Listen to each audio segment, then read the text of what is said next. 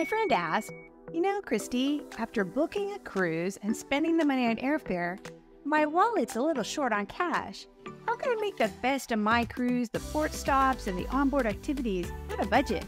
And I said, I'll take that challenge. I just love the idea of figuring out how do you make the most of your cruise when you don't really have a lot of money for all those extras. So be sure to stay till the end when I share some ways to save on one of your biggest expenses when you get to the ports, and that's your excursion. The first thing I told her was to skip the drink package.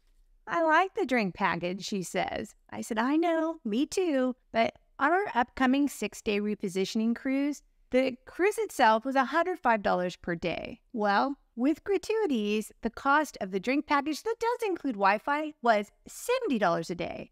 That adds up to $840 for the week. I'd rather have that in my pocket and just pay for the drinks as we go. Don't worry though, you're going to be able to drink without always paying the high price of the cruise line drinks because you can bring your own line. You can bring two bottles, regular size bottles, not the magnums. And one of the things that I do is I get, I bring a bottle of Prosecco, and in the morning, I bring my refillable water bottle and I fill it up with cranberry juice. And then I make, they call it a poinsettia cocktail. Who knew? So, one of the tips I learned early on was ask your steward to empty the mini fridge, get all that stuff out of there. That stuff is not included in your cruise, in your drink package, nothing. So, this is what happens. You get home after a long day, you're thirsty, it's filled with water. You're like, oh, I'm going to take that water out of there. Yeah, you'll get a nice hefty bill. So, empty out all those things and then bring your own. Well, this one's filled with something else to drink, but bring some water bottles that you can fill with water. And then you can even keep those in your fridge if you like them nice and cold, like I do. The water right out of the tap is good, it's clean.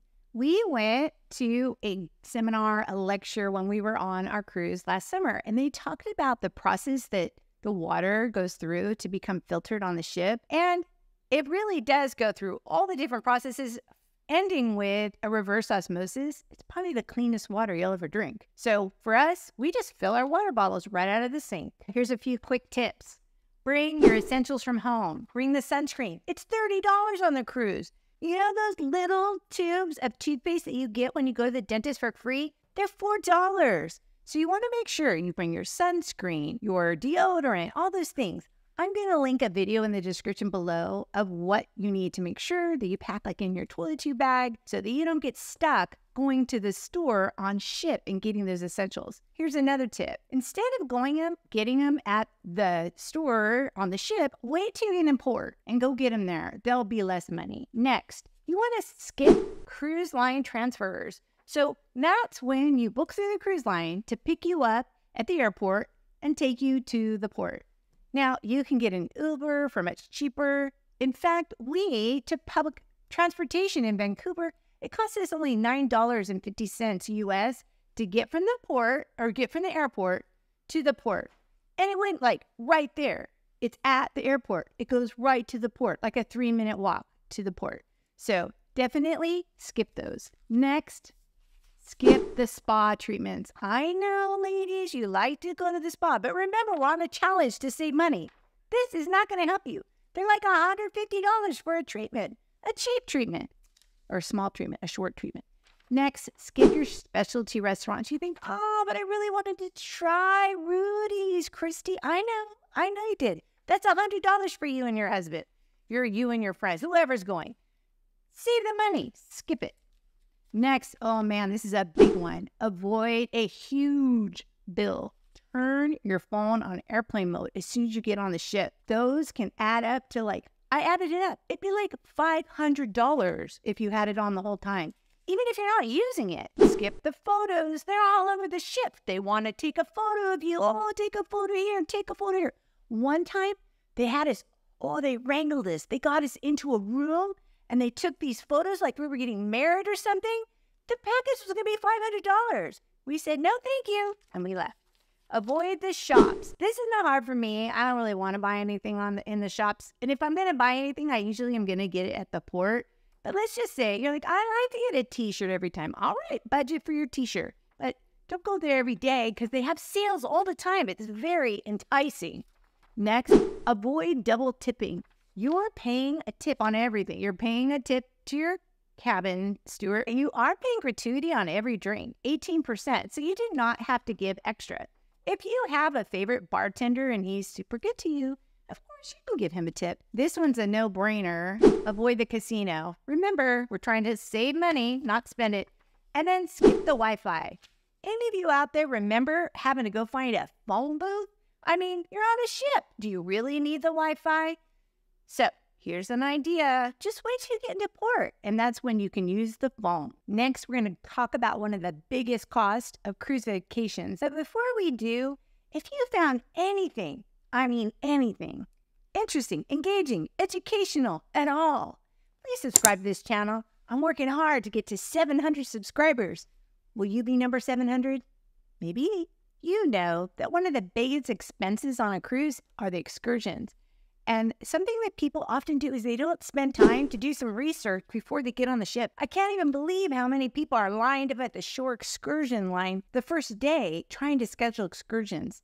That's not the way to go. Here are some ideas. First of all, you can start with your cruise line and see what do they offer. Like for example, they're going to offer whale watching in Juneau, Alaska. Okay, now you know. Hey, there's whale watching in Juneau, Alaska. Maybe I can get a better deal at shoreexcursionsgroup.com or Viator, a couple third party vendors that are going to get you back to the ship. Otherwise, that's not good for their business, right? In addition to that, you can also go to places like whatsinport.com. I learned that from Gary over at Tips for Travelers. Whatsinport.com has hundreds of ports that they talk about what can you do there? What's the transportation like? So that's a good place to go to research what can you do there. And often you can find things you can do on the cheap. Another place you can look at one day itineraries. So just put in one day itineraries for Cabo San Lucas. I did that with my friend, and we've had all sorts of things to do that wouldn't cost a lot of money. You want to just not just go and think, I'm just going to book whatever the cruise line offers or not go on excursion. You might be able to find something at a price you can afford. This summer, when we go to Juneau, Alaska, I want to go to the Mendenhall Glacier. Well, I did watch another video by Gary and Gary from Tips for Travelers, and he talked about how you can get on a city bus. The city bus takes you out to the Mendenhall Glacier. It drops you off like a half an hour, no, a half a mile walk to the visitor center. I can walk a half a mile. The city bus costs $4 round trip. The same exact excursion that you book through the cruise line costs you $65. So by just taking the bus, you save 60 bucks per person. I'm into that. You may be the kind of person that once you get off the ship and go into port, you want to eat what the locals eat. You're not eating what the locals eat. You're eating what the other tourists are eating. For me, eating when you get off the ship is a mistake. So to me, eat on the ship. So what does that mean? If you have a long day in port, go on your excursion or go do whatever you're going to do, then get back on the ship, eat, take a little break, a little rest, and then go back out for the rest of the day. Last summer, we spent $150 on mediocre food in town. I have no idea why we didn't just go back to ship for lunch. Here's a tip from Don's family vacation. He says, always book your own hop on, hop off bus. You'll save half the price by doing so. Remember, you're on a cruise. Food, accommodations, entertainment already included. Here's your savings stack up.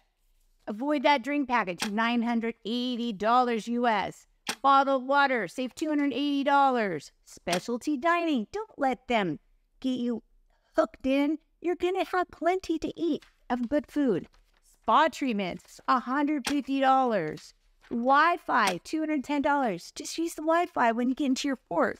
Cellular roaming fees. This one's the easiest one to save. Just turn your phone on airplane mode cruise line transfers, take public transportation or an Uber.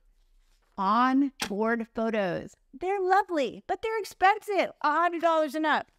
Forgotten toiletries. Watch my video. Know what to pack. Shore excursions. Research before you get on the cruise to make sure you're saving money. Finally, your stack up to $1,650. I know you've got some tips for us. Leave them in the comments below. We all want to know how did you save money on your cruise? And if you want to save money on booking your cruise, make sure to watch this video next.